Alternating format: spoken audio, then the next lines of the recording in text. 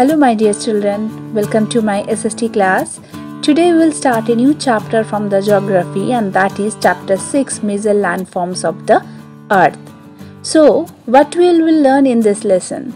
First of all, to understand major landforms or relief features of the earth, major types of landforms, importance of mountains, plateaus, and plains, and landforms, and the people. Students, you know that our earth is unique because it is the only planet known so far to have plant and animal life on it. The environment of our planet is different from the other known celestial bodies. Scientists describe the earth in terms of systems called spheres. They call the land, water, and air realms the lithosphere, hydrosphere, and the atmosphere, respectively. The fourth realm called the biosphere is found in the narrow zone where the three realms come in contact with one another. So the main question is what is the meaning of relief features or landforms?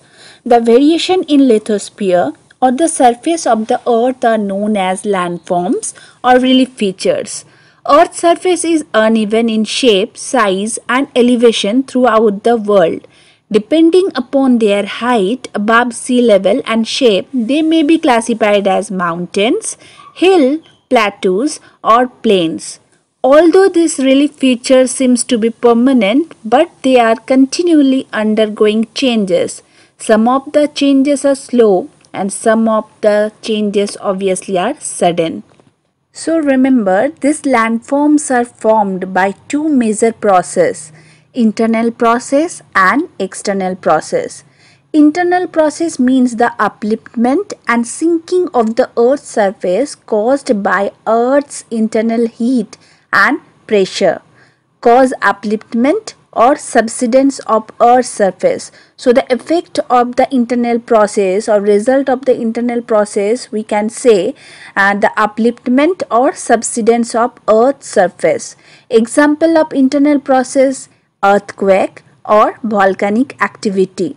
Example of landforms formed by internal process are mountain, ranges, plateaus, plains, oceans, ridges. An external process involves the action of some forces externally on the surface of the earth. Some of the external forces include running water, moving ice, wind, and waves. They act slowly and weigh down the highlands, depositing material in the lowlands. Earth's surface resulting in the removal of materials is called erosion, while accumulation of material is called deposition.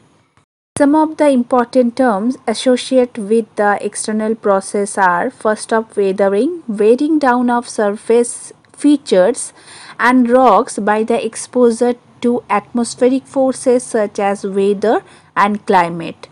Erosion process of removal and transportation of weathered rock material by wind, water and glacier. Third one deposition depositing this material at other places during and after transportation. Some example of landforms formed by external process are plains and plateaus. So my dear children relief features और landform किसे कहते हैं?